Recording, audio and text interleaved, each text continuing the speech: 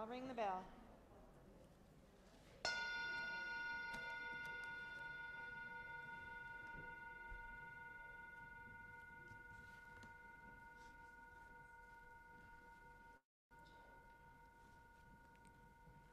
Good morning,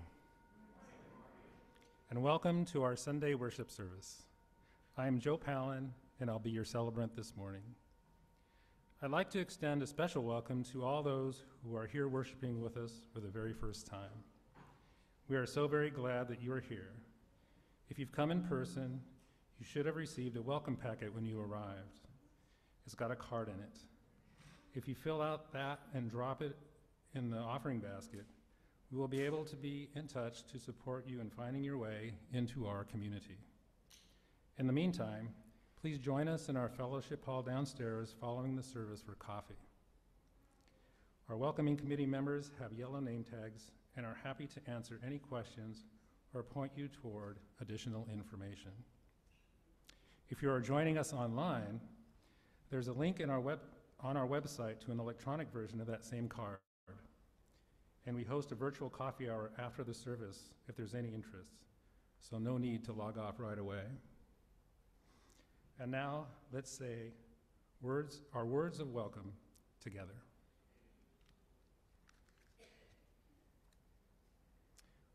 We welcome you, old friends and new, young and old. You are essentially our, our celebration today. Whether today is your first or your thousandth Sunday in our midst, we are stronger because you are with us. We are one people of many beliefs, identities, origins, sexualities, and genders. We are all growing, all learning, all loved, body, mind, heart, and spirit. Just as you are, you are welcome here. Now we will take a moment to say hello across the technical divide. First, we're going to show the people joining us on Zoom. If you're at home, please turn on your camera. Okay, people at home, now wave. Now, people who are attending the service in our building, it's your turn to wave.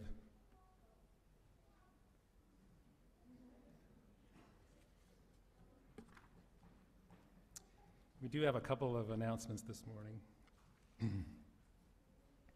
the Palouse Zen community invites members of the UUCP community to join them in Zazen, a sitting meditation, in the UUCP library on the third floor at 7 p.m. on Thursday evenings. Anyone interested can talk with uh, UUC members Pat Hine or myself, Joe Palin, uh, to arrange a uh, short orientation. Alternatively, you can use the contact form on the Palouse community website, uh.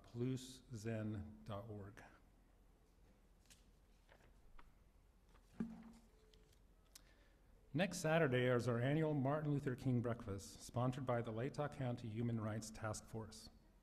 This year, for the first time since the pandemic, they are offering an in-person option at Moscow Middle School, as well as broadcasting on Zoom on Saturday, January 21st at 9.30 a.m. Unfortunately, I've heard hardly anyone signed up the, to attend in person, and it will be such a shame for the excellent speaker, Dr. Scott Finney, uh, if the excellent speaker, Dr. Scott Finney, has to speak to an empty house. So if you're planning to attend, please consider reg registering to do so in person. And I believe Nancy has an announcement.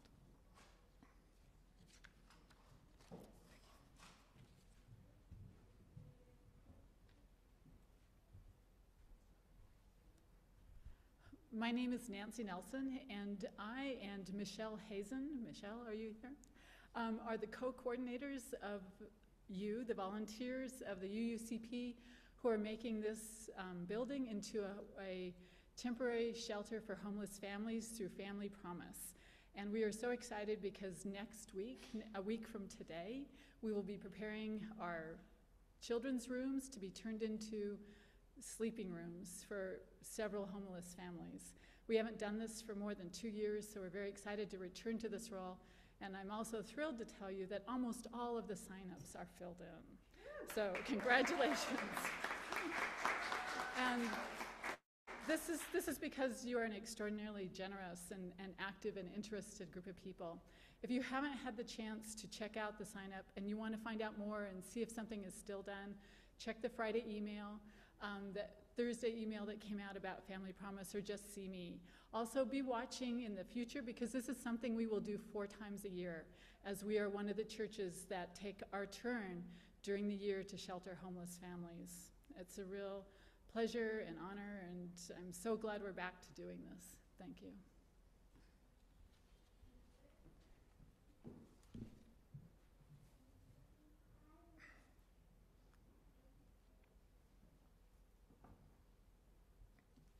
Here end the announcements. We preface our service by acknowledging that the land on which our homes and our church were built was not uninhabited when European settlers arrived here with their ideas of conquest and ownership. For those of us who live in Moscow, Pullman, or other nearby communities, we live on the ancestral homelands of the Nimipu, called the Nez Perce by the French speaking traders, the Palouse, and the Shudmits, called the Coeur d'Alene. If you are joining us from another space, I encourage you to discover who inhabited or moved through the space where you now live in the times before colonization and genocide, and where they are now. We pause to remember that we live on a ground that is sacred, ground that was stolen, ground that cries out for justice and for responsible stewardship. May our remembering help us find the courage to do our part to restore wholeness to the earth and all her peoples. We also pause for just a moment to light a candle and pray for peace. We hold in our hearts all those currently threatened by greed and imperialism, from the people in Ukraine to those in Burma and Somalia. May we commit ourselves to nurturing peace, peace in the world, and peace within. We are hoping that folks joining us via Zoom have a chalice or a candle to light and something to light it with.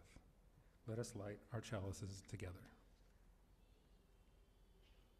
In the light of truth and the warmth of love, we gather to seek and seek to share.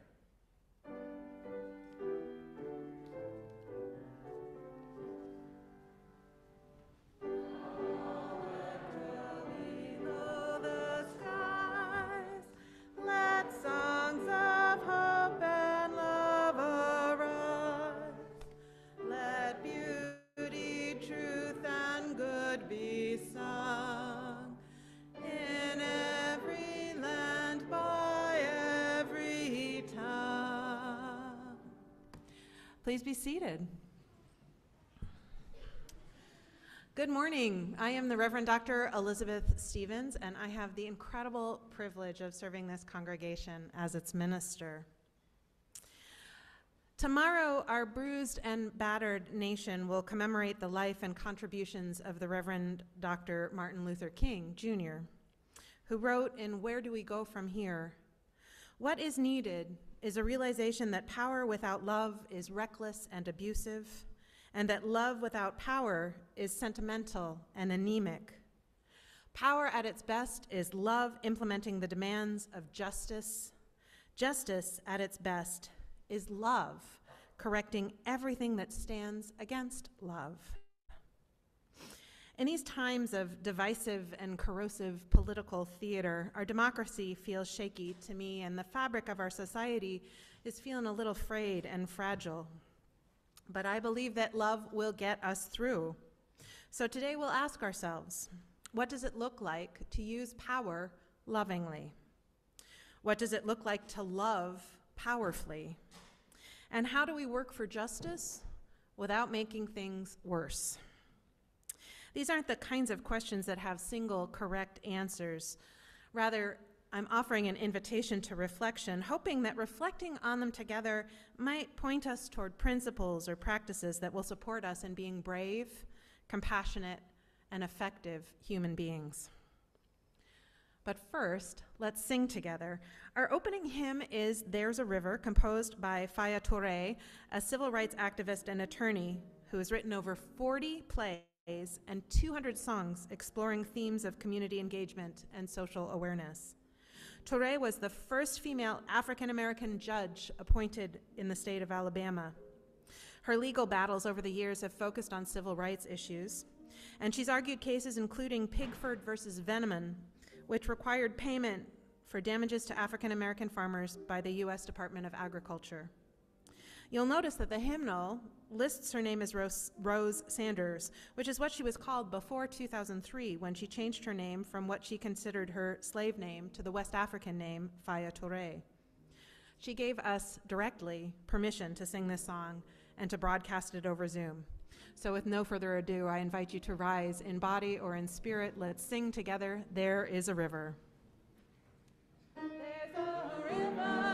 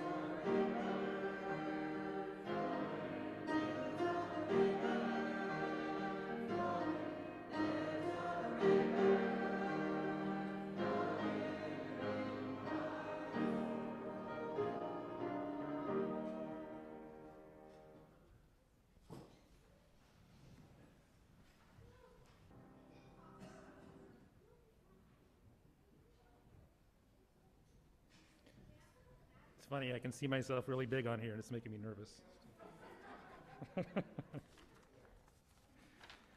Uh, Oh, thank you.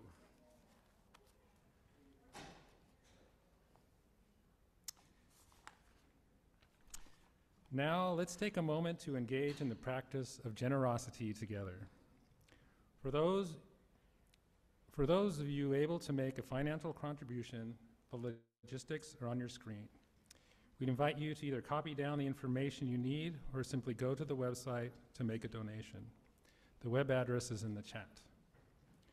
Those of you who are newer or visiting from another part of the country may not be aware that we typically give away all of the cash from our Sunday offering to local charities whose missions align with our values, a program called the Month of Sundays. This month, the recipient is our local chapter of St. Vincent de Paul, an all volunteer organization that provides visits and financial support to local people in need, regardless of race, nationality, religion, or sexual orientation. If you are donating online, you can choose Month of Sundays from the drop down menu. If you are mailing or dropping off a check, simply indicate in the memo line whether it is intended for the month of Sundays or our general fund. In the spirit of love and for the continuing work of this church, We will now take some time to practice generosity together.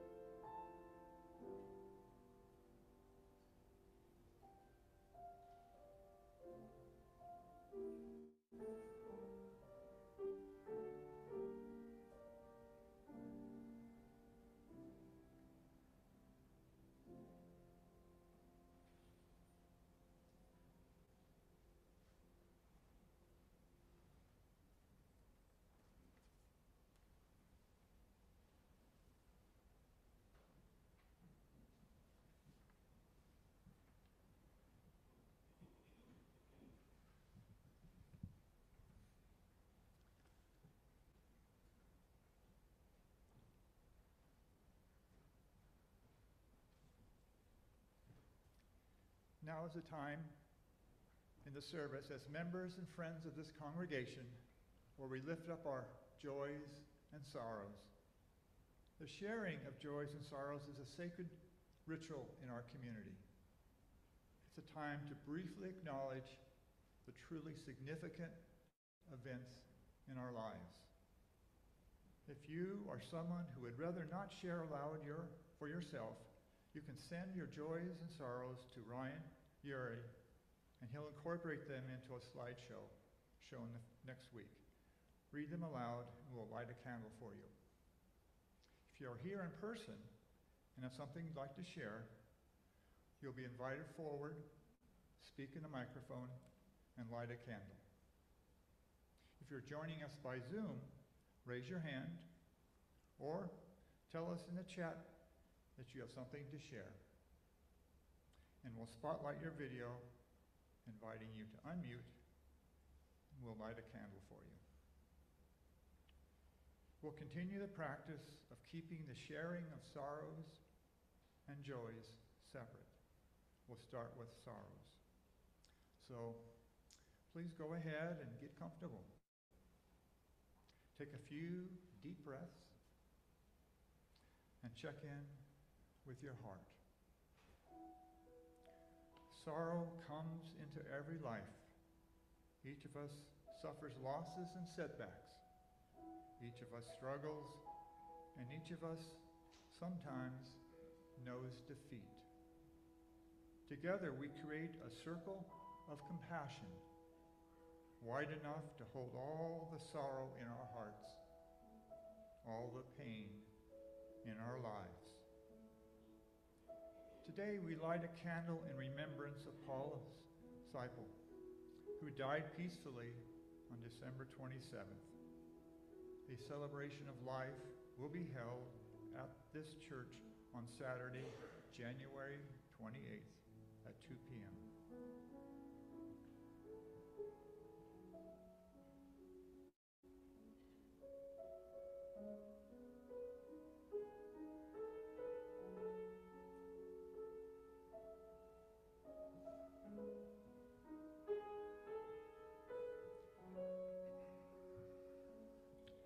If you have a sorrow to share, I invite you to come forward now, or if you are on Zoom, let us know by raising your hand or typing something in the chat.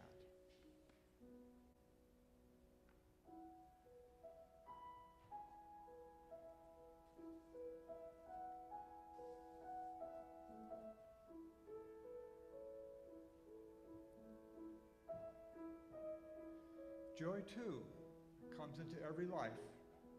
Hearts are made to love. This world and the people in it are unbearably beautiful. Together, we create a circle of celebration, deep enough to hold all the joy in our lives.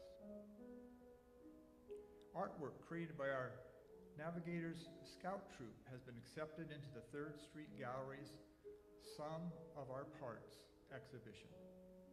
Reception for it will be held on January 19th from 4 to 6.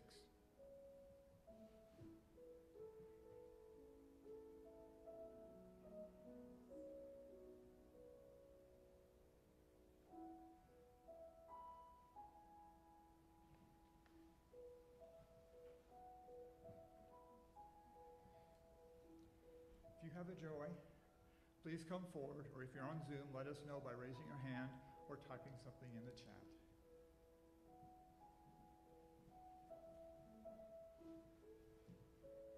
Well, last week we completed a wonderful bit of um, teamwork and effort on the part of the members of this church, and Eileen Smith is now safely installed at uh, Good Sam in the assisted living, room 216, if you'd uh, like to visit her. Anyway, it was just a marvelous example of everybody working together, and I'm very proud of us. I didn't do all that much, it was other people.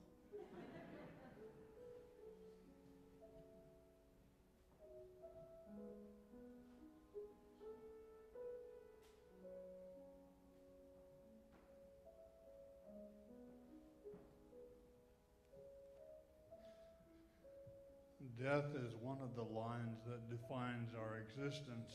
I told you a few weeks ago about my niece, Andrea, who started chemo and uh, cancer therapy this week. Uh, her father, who is an avowed atheist, told me yesterday on the phone he welcomed the prayers of his religious friends. For me, that's a cause of great joy. On a smaller scale, Today the first time, thanks to the technicians, I've been able to hear without the hearing device. So whatever your volume is, guys, keep it up.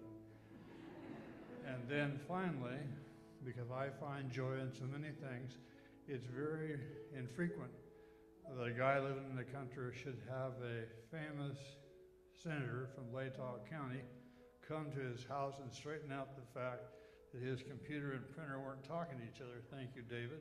You did a wonderful job on both counts.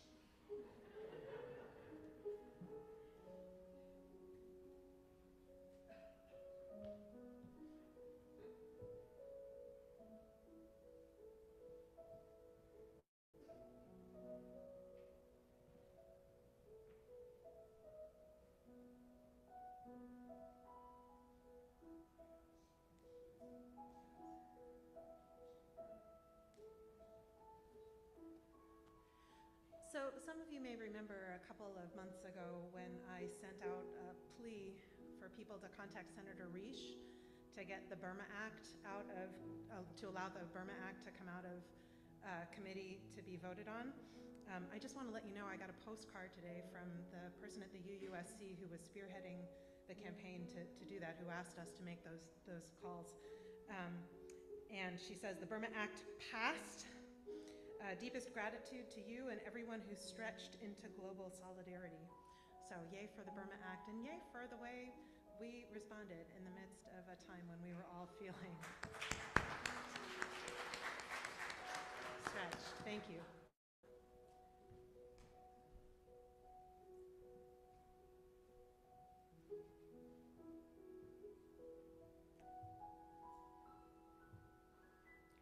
I'll light a final candle for all those joys and sorrows still too tender to share.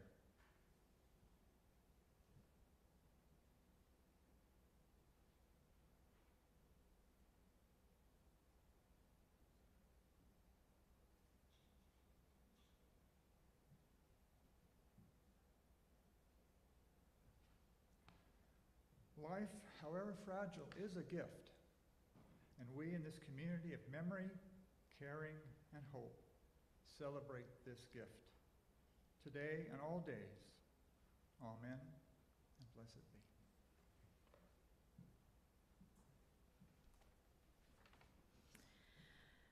I want to send us into our time of silent meditation today with the actual voice of Martin Luther King Jr. ringing in our ears. So, we're going to share a brief excerpt from a sermon he delivered at Dexter Avenue Baptist Church on November 17th, 1957. It's echo in our hearts.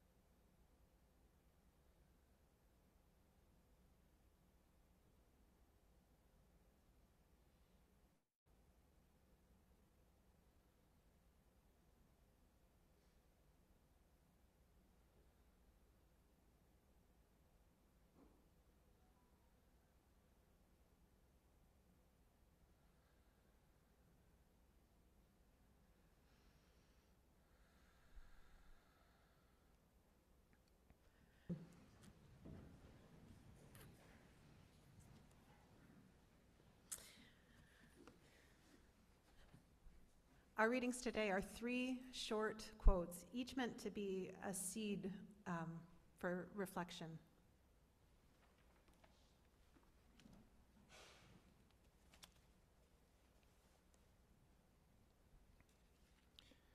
Power is of two kinds. One is obtained by the fear of punishment, and the other by acts of love. Power based on love is a thousand times more effective and permanent than the one derived from fear of punishment. Mahatma Gandhi. Love is a combination of six ingredients care, commitment, knowledge, responsibility, respect, and trust. As you go about your life, you can ask the action I'm taking, does it have these six ingredients? Bell hooks.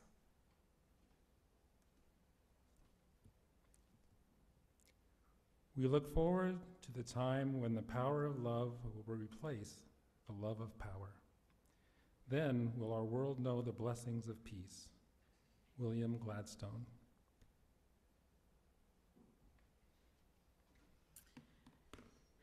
So, this morning, as I've said, we'll be reflecting on the intersection of love and power. How do we love powerfully? And how do we use the power we have lovingly? We Unitarian Universalists are firmly rooted in a tradition of nonviolent resistance that begins in the Bible and stretches forward through all of human history. Nonviolent resistance requires harnessing the power of love to effect change. So let's start by thinking a little bit about power. MLK defined power as the ability to achieve purpose and effect change. Gandhi identified two categories of power in the quote I just shared, but in fact, there are a multitude of ways of understanding it. In the UUA curriculum, Harvest the Power, they list five types of power that we use in leadership expert power, which derives from group members' assumptions that the leader possesses some superior skills, knowledge, or abilities. Uh, positional power, which stems from an authority's right to require and demand compliance it's dependent on the official position held by the person exercising it. Reward power, um, which is based on the belief that the leader controls important resources and rewards that the followers might want. This is the carrot. Coercive power, uh, meanwhile, is the stick. Coercive power is the capacity to dispense punishments to those who do not comply with requests or demands. Brene Brown, meanwhile, talks about power over, power driven by fear that morphs into hate, and contrasts it to power with, power to, and power within. Power with leverages connection and empathy to unite and stabilize. It values decency as a function of self respect and respect for others. Power to is about agency, it's about choice. And power within has to do with self awareness. It requires the willingness to learn, to grow, to change, to understand ourselves better, and to seek to understand others in the same way. Our identities sometimes give us power or privilege. Material wealth gives us power as well. We have physical power. How strong are our bodies? But we also have intellectual power and emotional power. This often, emotional power often looks more like wisdom or resilience. And then we have my favorite, our human superpower, which lives in the pause between an action and our reaction, which might normally be habitual. In that pause, we have the power to stop and to choose not a reaction but a response a loving response. In other words, we have the power of self determination. We can't always control our circumstances, but we can control what we do and say. This little caveat we can't control what we feel, feelings just are. But we can control what we're going to do with those feelings. Are we going to stuff them or ignore them? Or can we be present to them so that the learning they carry for us can make its way into our hearts? So there's a whole bunch of stuff that I just threw at you about power. Take a couple deep breaths and sit with these questions. What is your relationship with power? What types of power do you hold in what situations? And how do you use your power? Are there places in your life where you feel powerless? And how do you deal with that difficult and uncomfortable feeling?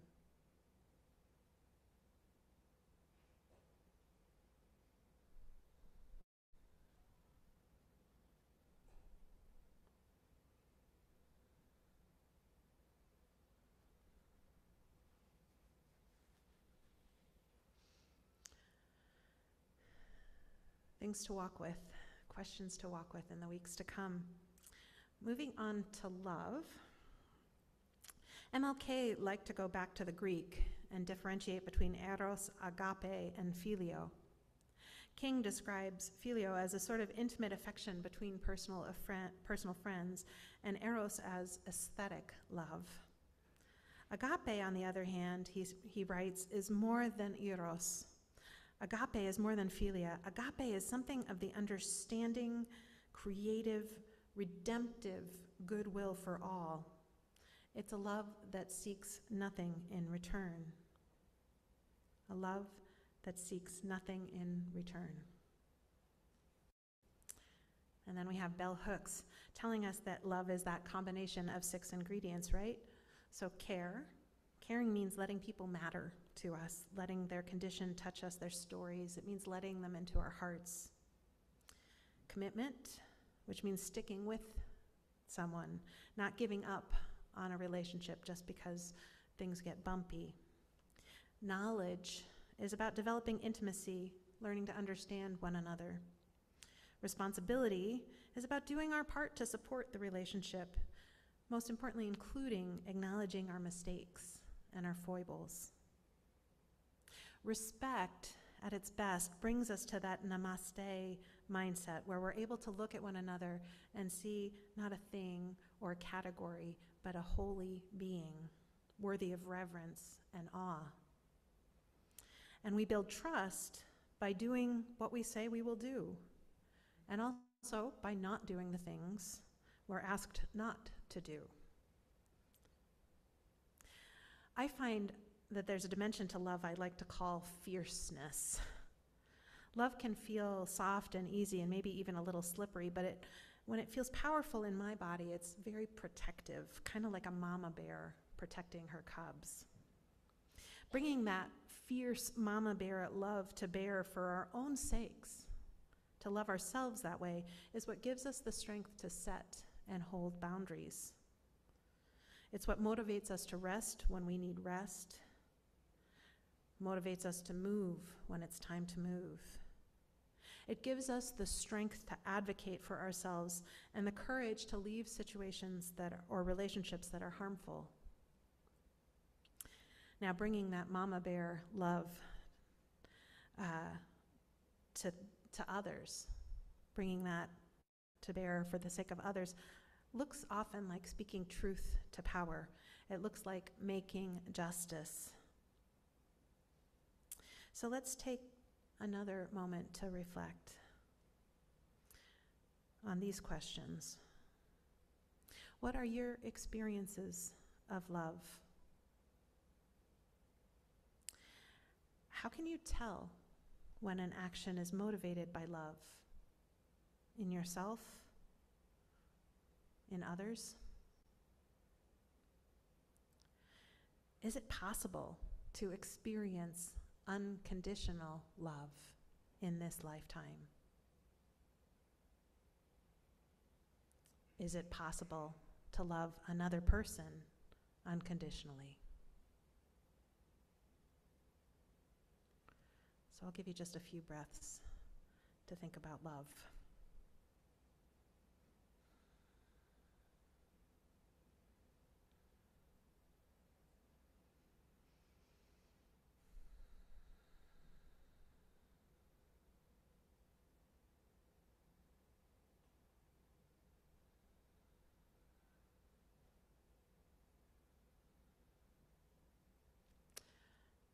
And now I want to bring the two together.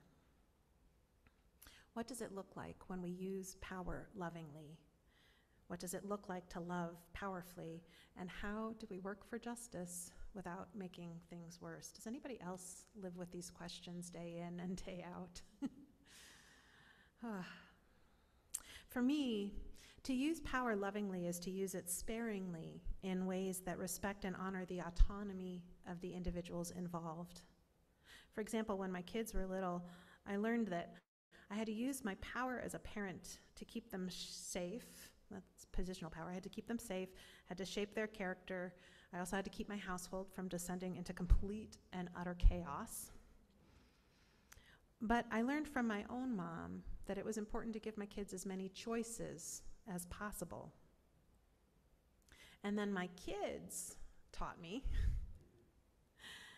that when I used coercive power to make them do something they didn't want to do, it didn't work. It was an exercise in frustration.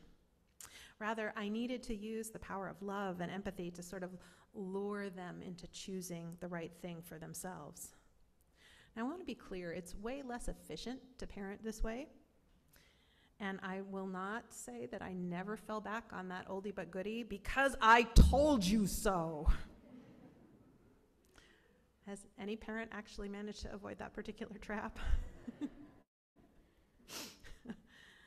you know, my younger son is um, about to take the LSAT and apply for law school. Uh, so imagine little four year old baby lawyer. was fun. I had a mantra when he was four you didn't kill his brother, you're not going to kill him. You didn't kill his brother, you're not going to kill him. You didn't kill his brother, yeah. Oh boy. So, my kids obviously were strong willed from the start, so persuasion, while it was less efficient than coercion, was far more effective, especially long term. And I think that's an important distinction to hold effective and efficient. It's more efficient to use coercive power, but it's more effective to use the power of love. Now, using power lovingly um, also requires being aware of our motivation. When we choose to do something, are we doing it for our own sake or are we doing it for the sake of others?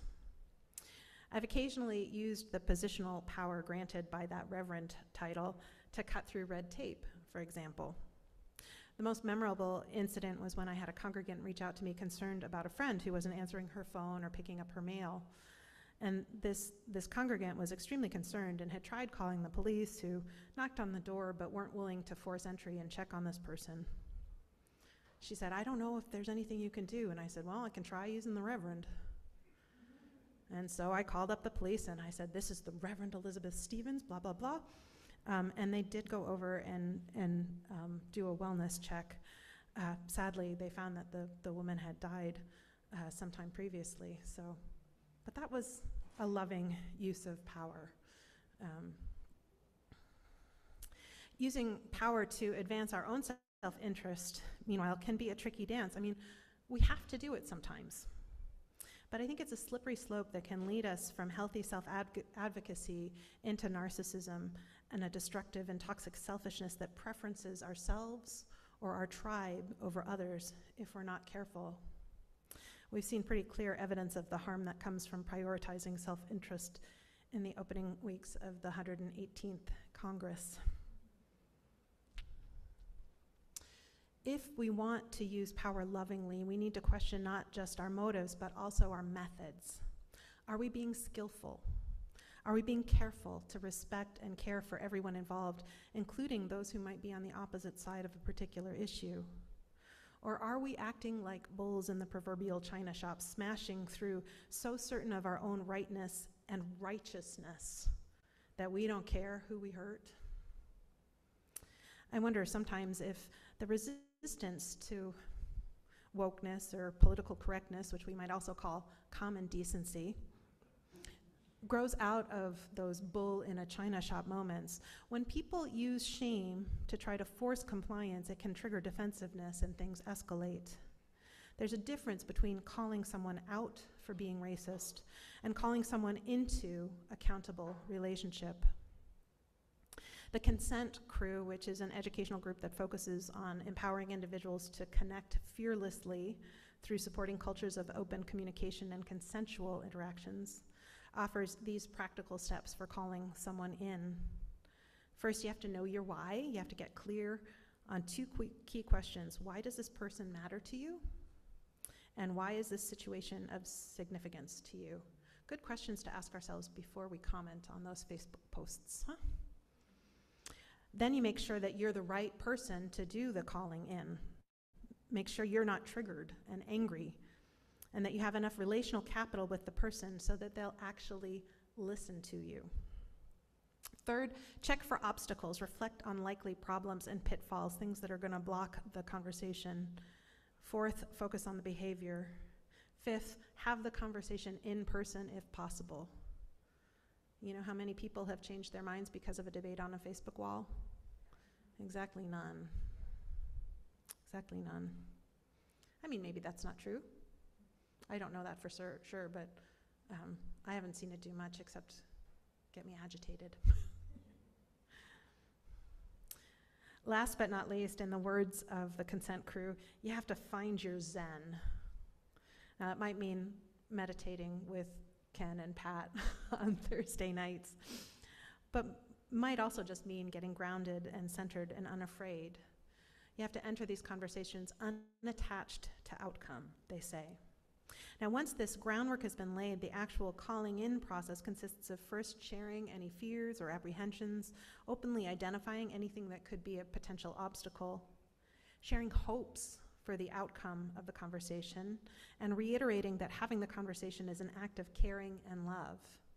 And only then, after you've done all that work to lay the table, only then sharing feedback about the specific behavior. It is delicate work, whether we use the consent, uh, whether we use the consent crew's process or our own. It's delicate work. And it's not surprising that we get it wrong more often than we get it right. But we need to get it right more often than we get it wrong.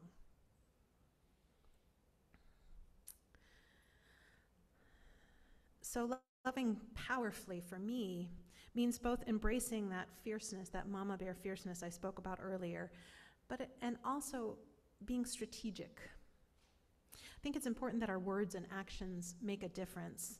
And that starts with believing that our words and actions can make a difference, that what we do and what we say matters. This first critical step isn't always easy. Does anyone else sometimes feel powerless? But I think we confuse lack of control with powerlessness. Just because I'm not in control and I can't make events unfold to my liking doesn't mean that my actions don't have an impact, don't make change, don't build justice. I think one of the problems we're facing as a nation is that when elections fail to turn out the way we'd hoped, we assume that the system is broken and we voluntarily give up our power by not bothering to vote, by not talking about politics, by withdrawing from the conversation. If we're convinced we can't win, we might be tempted to just throw up our hands and walk away from the game. But, beloveds, we cannot afford to do that, especially those of us who live on the eastern side of the Washington Idaho border. The work of building justice isn't about elections or legislation, it's primarily about changing minds and changing hearts. This current tribalism in politics is keeping people from talking to their neighbors. If we're all holed up in our separate camps, nothing is going to change. We have to put our faith in the power of conversation, relationship, the power of love. We have to love our so called enemies enough to stay in the mix. Rather than getting up on our high horse, when we've got the capacity, we need to be willing to sit down. We need to keep working to understand the fears that are driving them while also refusing to tolerate the behavior that perpetuates harm. We have to be able to empathize, admit that we don't have a monopoly on the truth. We have to be willing to be changed if we're going to affect change in others. When I look at our democracy in this moment, I see evidence of love of power everywhere I turn. But I also see evidence of the power of love working around the edges, kind of like the Burma Act, right? It's more subtle, it's slower, it's less efficient, but it's more effective. Just like parenting, there's a temptation to embrace the efficiency of coercion and fear mongering rather than reaching for that effective transformation through compassionate relationships, relationships that honor the autonomy of the people involved. So resist the temptation. Take advantage of our human superpower. And in that moment between action and habitual reaction, pause and ask yourself again and again and again what is the most loving response I have in me? What is the most loving and life affirming thing I can do? And sometimes the most loving and life affirming thing you can do is to walk away. And other times, it's to move toward. And only you can know which is which. It's slow work, this building of a just and loving world. It can be discouraging and confusing and anxiety producing. So it is okay to take breaks. It's okay to turn toward joy and fun and set it all aside for a time. Sometimes that is the most loving thing we can do, but it's not okay. It's not okay to give up. It's not okay to give up. We have to keep going, keep on moving forward. We Unitarian Universalists, we are the love people. Love is at the center of who we are, it's at the center of everything we do. So be it, and so may it be. I invite you to rise now in body or spirit. Let's sing number 153 Woke Up This Morning.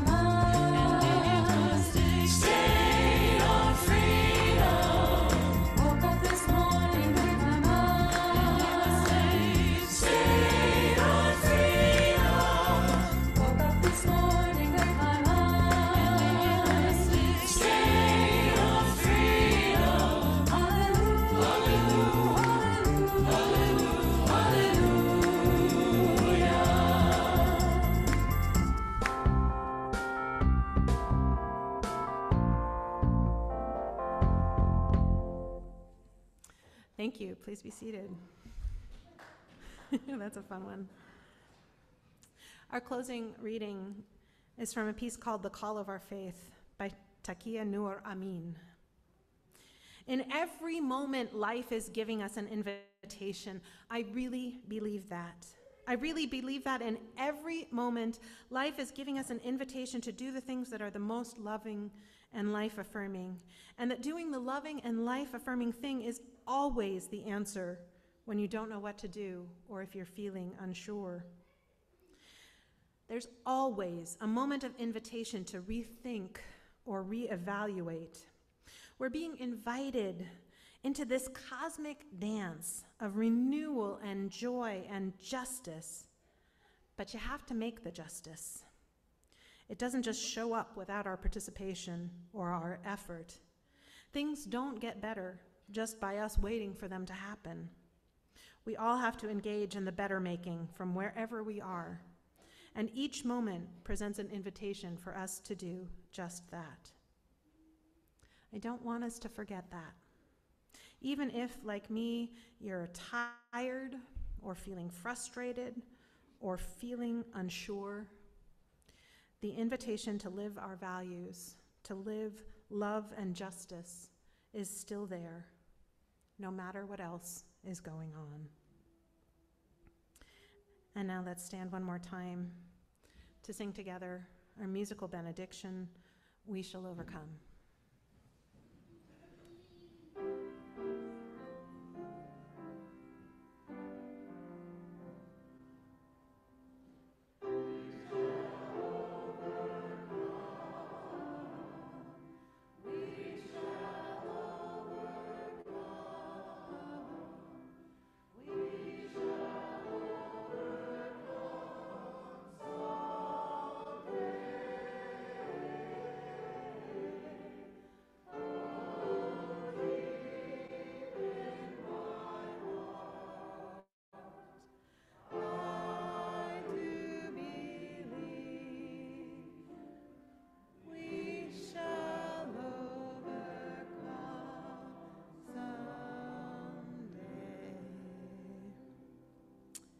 It be so. Please join me now in the words to extinguish our chalice.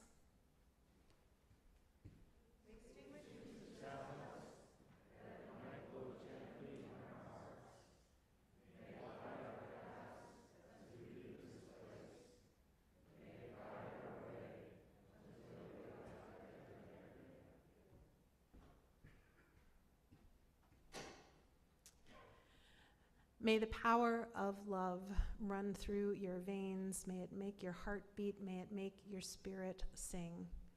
And may you know that there are so many others in this community and beyond who are singing alongside you. Go in peace. Come back next Sunday.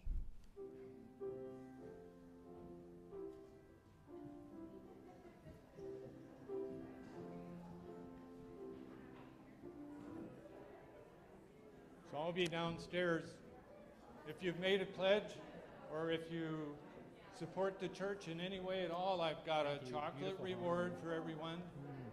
I want to announce that our stewardship pledge drive is going extremely well, and we, we really appreciate all the support we've gotten. So come down and say hi, get some chocolate if you like.